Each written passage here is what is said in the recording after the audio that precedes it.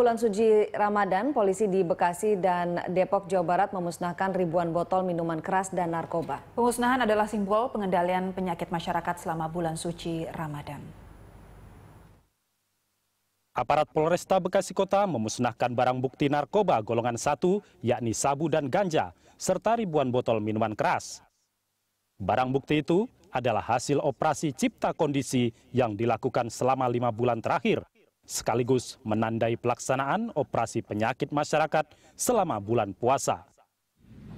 Tidak hanya di Bekasi, di Depok, Jawa Barat, polisi dan aparat terkait lainnya juga memusnahkan ribuan botol minuman keras berbagai merek.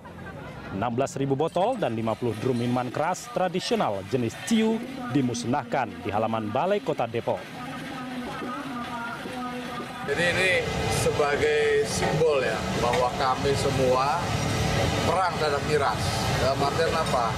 Kita pertama momentumnya adalah menyambut bulan suci Ramadan. Yang kedua, banyak kasus yang diawal dari miras.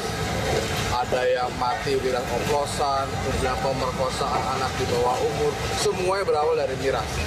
Oleh karena itu, untuk di Depok ini kita zero toleran untuk masalah miras.